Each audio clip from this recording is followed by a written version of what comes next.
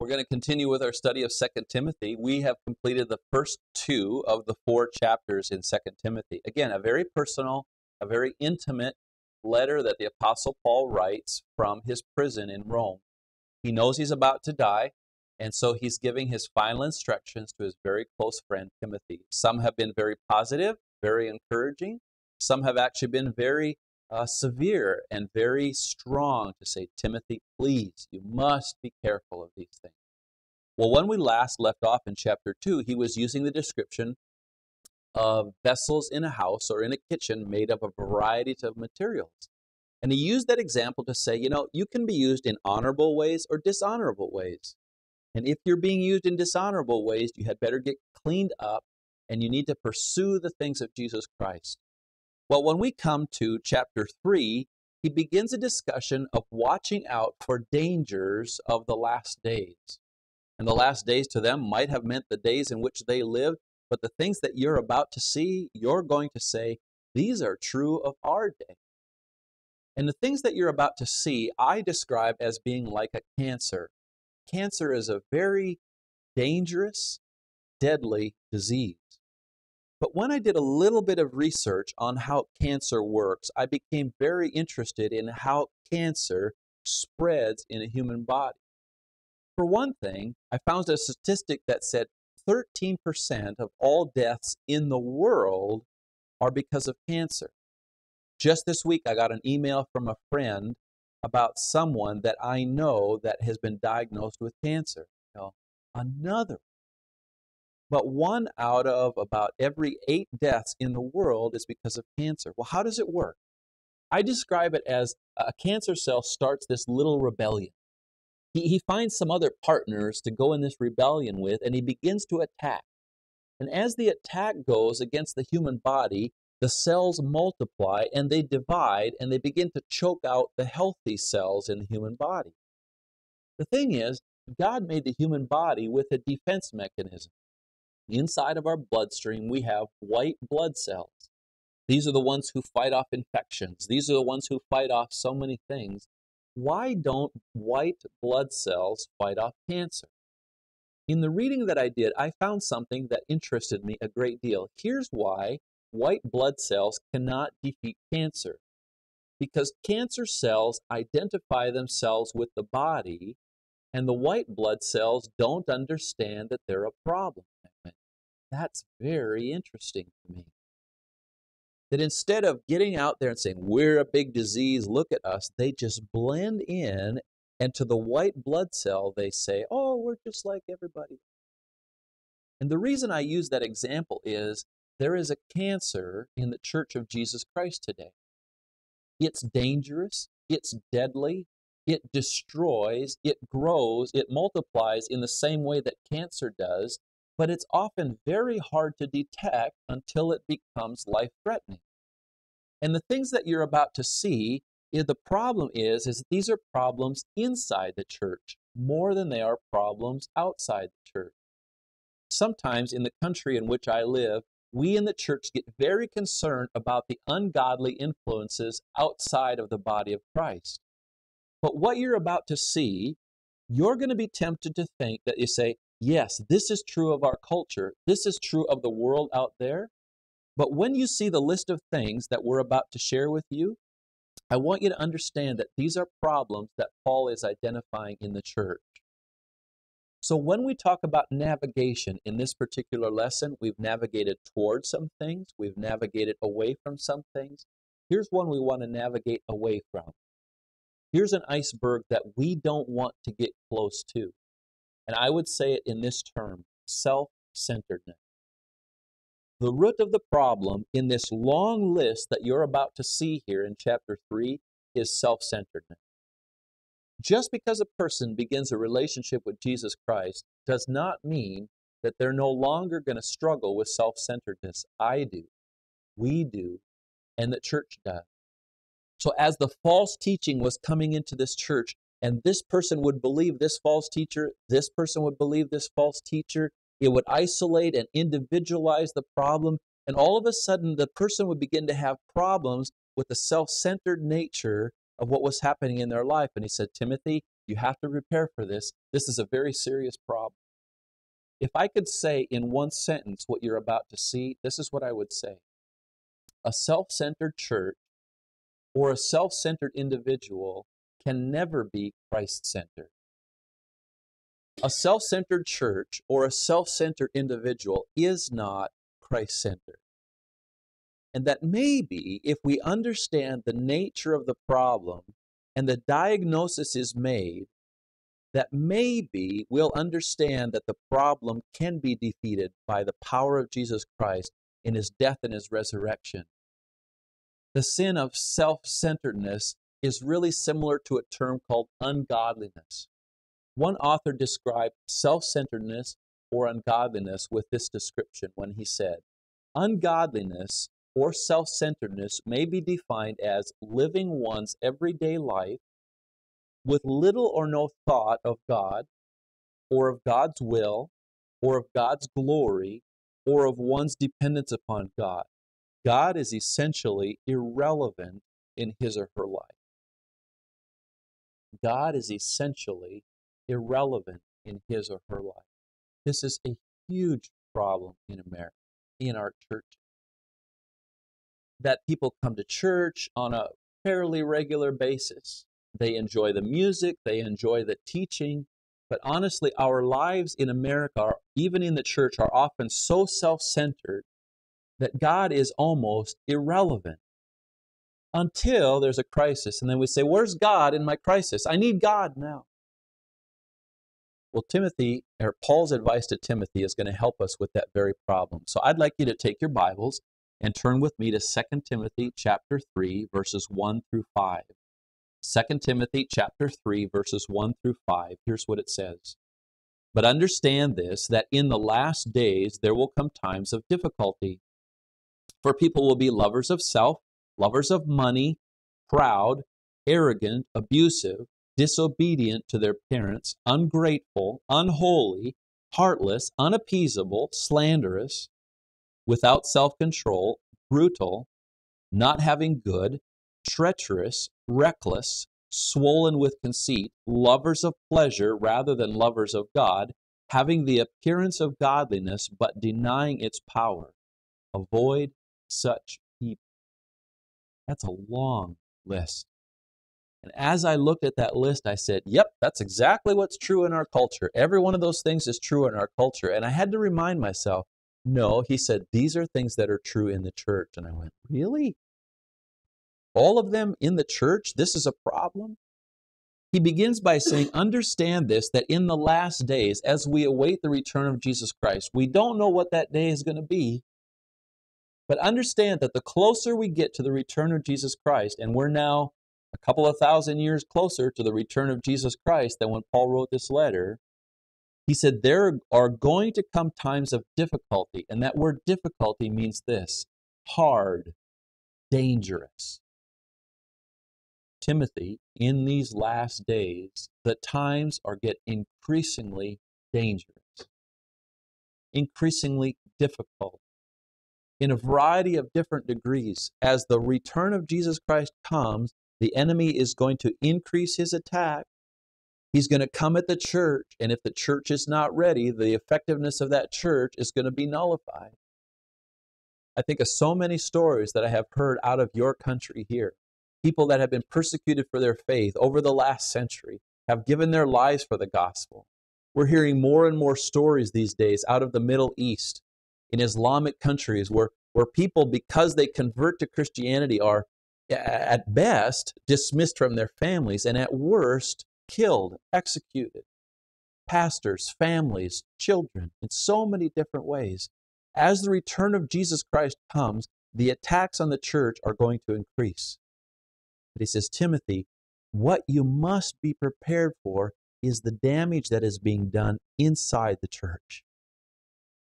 And what you saw as I read verses 2 through the beginning of verse 5 is a list of 18 or 20, depending on how you count them, descriptors of what a self centered life is.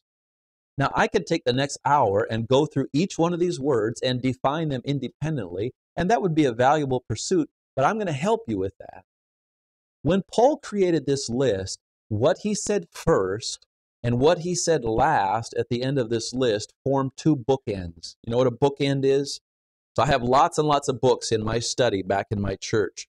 And on some shelves, I have bookends. So a stack of books is here book, book, book, book, book. And on one end is maybe a decorated bookend, and on this end is here. It holds the books together. What you're going to see in verses 2 and in verse 5 is a bookend here and a bookend here that end up explaining everything in the middle.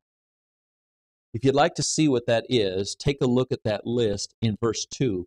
I'm not going to read the whole list again. I'm going to stop after the first bookend. He says this For people will be lovers of self. That's bookend number one. I'm in love with myself. I said, "Yep, that's the world in which we live. People are just all in love with themselves. That's exactly that's the problem in our country." He says, "No, remember something, Bruce. Remember something, Timothy. This is a problem inside the church." And I want to say, "Paul, do you know what you're talking about? Are you saying that we have self centered people in our church, but they're followers of Jesus Christ? How could they be self centered? And then I looked at my own life. I'm a very self centered person. I come home at the end of the day and I, I want to just relax. I want to sit and read, or I want to watch television. I want everyone to just be quiet. I'm a very self centered person, but I'm a follower of Jesus Christ.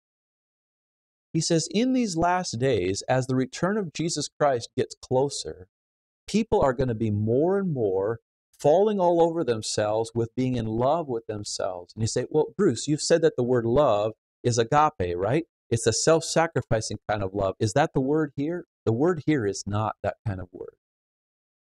There are at least three different words for love in the New Testament. The, the one we've talked about is agape love, self sacrificing love. The word here is the word phileo, which is the brother, brotherly affection kind of love. It's the kind of love that pleasures in oneself that delights only in oneself. And he says that's what's going to happen when this comes. So when you look at the rest of this list, and I'll tell you the second bookend in a minute, look at how each one of the things he names are actually descriptors of self centeredness. For people will be lovers of self, that's our bookend, lovers of money, proud, arrogant, that's self centered, abusive, disobedient to their parents, ungrateful, that's self centered, unholy, heartless, unappeasable, that's self centered, slanderous, without self control, brutal, self centered, not loving good, treacherous, reckless, self centered. All the way down the list, every one of these things names that he names falls under this umbrella of what a self centered person looks like. And he says, Timothy, these people are in your church. They're having a great affection for themselves and not the things of God. Augustine, centuries ago, in his book, The City of God, wrote it this way He said, Two cities have been founded by two loves the earthly by the love of self, even to the contempt of God, the heavenly by the love of God, even to the contempt of self. The former, in a word, glorifies itself, the latter glorifies the Lord. Two cities one glorifies itself, one glorifies God. Paul says to Timothy, Timothy, you belong to the family of God. The people in your churches belong to the family of God, but they're acting like they're glorifying themselves. You have to warn them because this is only going to increase as the return of Jesus Christ draws closer. John Calvin, in his Institutes of Christian Religion, wrote it this way He said, For so blindly do we all rush in the direction of self love that everyone thinks he has good reason to exalt himself. There is no other remedy than to pluck up by the roots that most noxious pest, self love. There is no other remedy than to pluck up by the roots that most noxious pest self love. Have you benefited from this teaching ministry? Have you found TVS videos helpful and relevant? Please consider supporting TVS with your prayers and financial gifts. For more information, please visit www.tvseminary.com.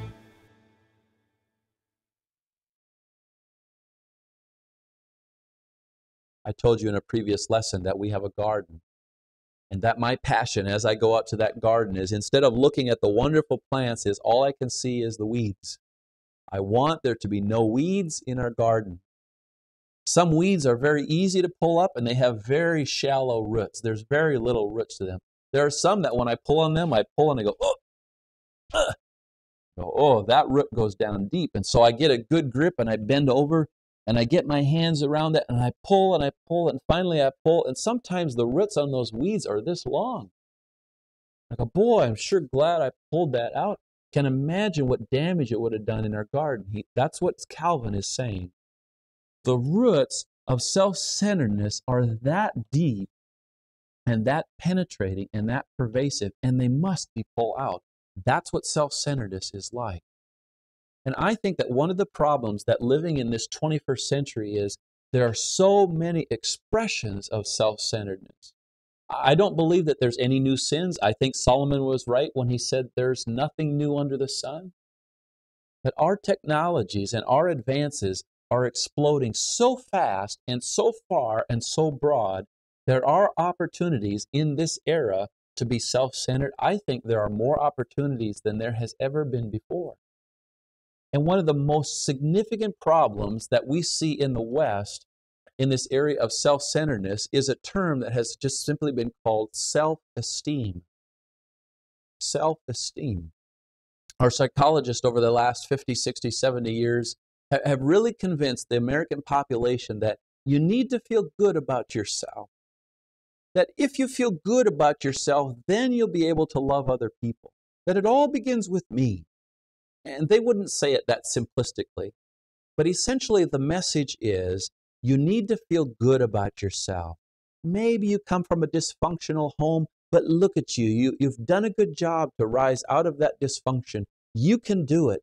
Be all that you can be. You, you can be successful. You can do anything that you want to be. Just have a good self esteem about you. It's not true. That's not what the Bible talks about. That's a very self centered nature. One writer said it this way It is widely claimed that a person cannot love God and other people rightly unless and until he loves himself rightly, completely reversing what the Old and New Testaments teach. Our psychology would say you can't really love other people rightly unless you love yourself first. And that's exactly the opposite of what the Bible says. And you say, well, where does it say that in the Bible? I think you probably remember. Remember the day that some religious leaders came to Jesus on the attack? Hey, Jesus, and this is my paraphrase. Hey, Jesus, we have a question for you. And they knew they were saying to themselves, he'll never be able to answer this question. Hey, Jesus, what's the greatest commandment? And they were laughing. There's 613 Jewish commands, and they added about a thousand more of their own. So there's 1,600 commands. No one knows what the greatest one is that Jesus is never going to be able to answer that question. Jesus doesn't even hesitate. He said, Not only will I give you the greatest commandment, I'll give you the second greatest commandment. And Jesus says these words. I, I wonder if you remember them. Jesus said, You shall love the Lord your God with all your heart, with all your soul, with all your mind, with all your strength. And the second one is, you shall love your neighbor as yourself. Doesn't say anything in there about putting yourself first. Fact, what the Bible says, we should love God first, and as we love God first, as we find our identity in who God is, we will find a love for other people. And the love for other people will then be reflected in a healthy self image of who we are. But we don't start with who we are, we start with God. And our love for God with our heart, soul, mind, and strength is reflected in a love for other people that is appropriate in, a, in, a, in a, an appropriate love that we have for ourselves. So, what does a Christ centered or a selfless life look like? What does a Christ centered or a selfless life look like? Well, let me show you something else in these verses. I didn't give you the second book bookend. I want you to go to verse 5 where it says this having the appearance of godliness, but denying its power. Actually, I should go back one more phrase. So check that. The end of verse 4 says this lovers of pleasure rather than lovers of God, having the appearance of godliness but denying its power. The other end of self centeredness is a love of pleasure rather than a love of God. They have a form of godliness that looks pretty good on the outside, but when you get underneath the skin of it, when you get underneath it, you find out that you really deny its power. It's weak, it's worthless. That's the second bookend of self centeredness. Well, how do I escape that? What am I supposed to do?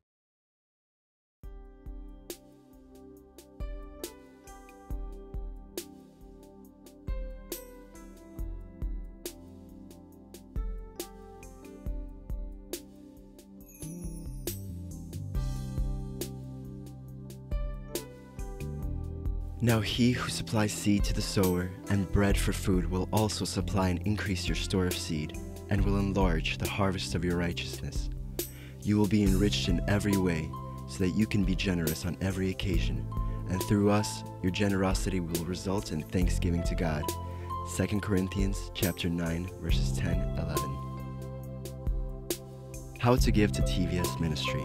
You may give online at efca.org/give now in the description place, write Russia Distance Learning, account number 24109-0150. Or make checks out to EFCA. Write on the check memo line, Russian Distance Learning, account number 24109-0150. Mail to EFCA Donor Services, 901 East 78th Street, Minneapolis, Minnesota, 55420-1300 or send your gift through PayPal for tvs.gift at gmail.com.